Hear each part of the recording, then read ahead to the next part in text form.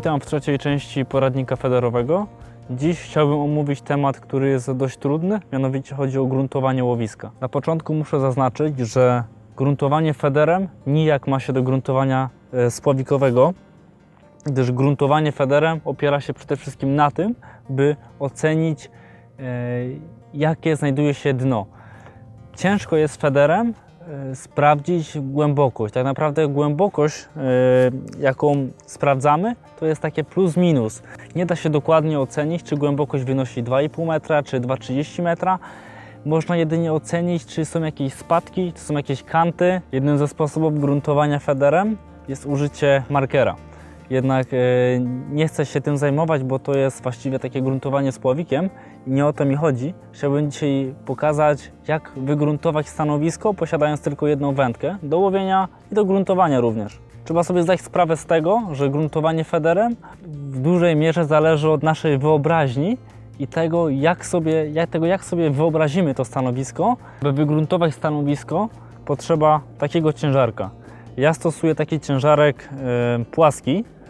Ten ciężarek jest zdecydowanie lepszy niż inne kształty, z racji tego, że taki ciężarek lepiej jest, jest bardziej chwytny dna i przez to łatwiej jest ocenić to, co znajduje się na dnie. Jeśli chodzi o gramaturę takiego ciężarka, moim zdaniem idealny jest 30-gramowy. Taki ciężarek spada no mniej więcej e, metr na sekundę. To jest takie mniej więcej oczywiście, bo to również zależy od kąta, pod jakim e, opada koszyk. Jeżeli ten kąt jest e, mniejszy, wtedy ten koszyk opada, a czy koszyk, ciężarek opada troszkę szybciej. Dlatego gruntując stanowisko dosłownie 5 metrów od brzegu przy tam głębokości 3 metrów, ten koszyczek może opadać nawet, czy ciężarek nawet 4 sekundy. Także to wszystko jest takie plus minus. Ale też trzeba pamiętać, że nie powinno się stosować do tego koszyków.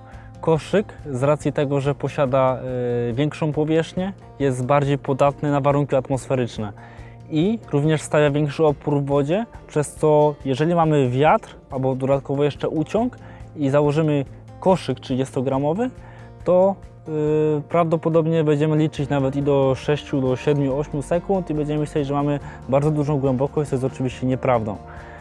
Dlatego lepiej zastosować ciężarek, który no, leci jak rakieta praktycznie prosto i, i opada również y, praktycznie pionowo, jeżeli zwolnimy y, kołowrotek.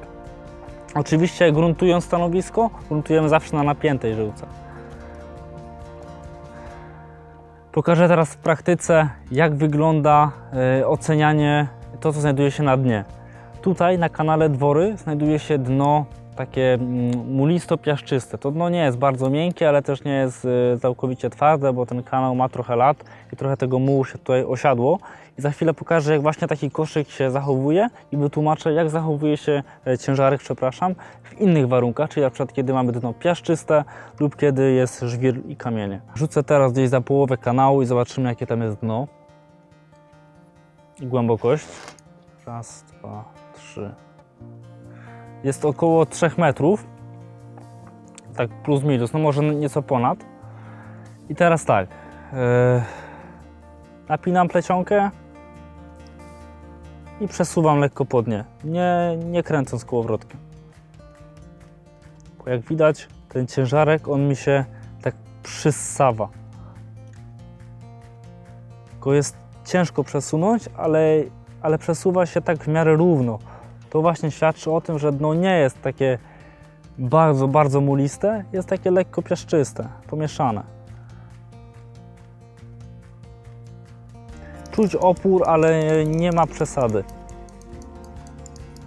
Tak właśnie zachowuje się ciężarek na dnie piaszczysto-mulisty. Jeżeli mamy muł, taki totalny muł, to ten koszyk nam się tak mocno zapada, czy koszyk, ciężarek, że jest ciężko wręcz go delikatnie przesunąć, a trzeba naprawdę użyć dużo siły, żeby go wyrwać z tego mułu. Dobrze jest mieć właśnie też takie cięższe e, ciężarki, na przykład 100 gram i takimi ciężarkami sprawdzić, jak e, mocno zapada nam się e, ciężarek. Jeżeli dno w łowisku jest piaszczyste, wtedy ta szczytówka, ona delikatnie drga i swobodnie się przesuwa ciężarek po dnie. Jeżeli dno jest kamieniste, wtedy czuć wyraźne tąpnięcia i, i takie bicia na, na blanku. No to jest, no, nie, nie da się tego właściwie pominąć. Udało mi się tutaj bliżej brzegu znaleźć trochę twardsze dno, także teraz pokażę w praktyce, jak to faktycznie wygląda. Prawdopodobnie piaszczyste.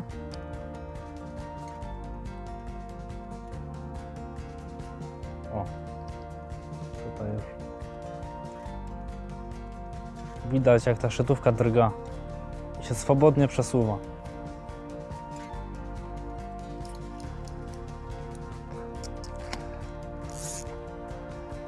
Teraz pytanie, jak e, wygląda e, poszukiwanie zaczepów?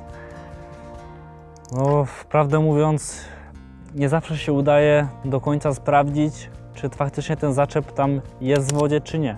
Tu dużo zależy od tego, jaki to jest zaczep. Jeżeli to jest zaczep y, z kamieni, to jest szansa to przy tam setnej próbie ten kamień zauważyć. Natomiast jeżeli jest to y, jakaś, jakaś gałąź, to niekoniecznie, bo jeżeli ta gałąź jest ułożona tak, że, yy, że jest lekko na przykład tak osiądzie na dnie, to wtedy praktycznie my przejedziemy tym ciężarkiem po tym zaczepie i nie będziemy mieli pojęcia o tym, że, że tam jest ten zaczep. Po prostu tego nie wychwycimy. Jeżeli są jakieś żyłki, to wtedy to ewidentnie widać, kiedy mocno jest przytrzymanie. Także jak widać, gruntowanie federem jest dość intuicyjnym zabiegiem i tak naprawdę na wielu łowiskach e, wcale nie trzeba do tego przykładać jakiejś ogromnej uwagi.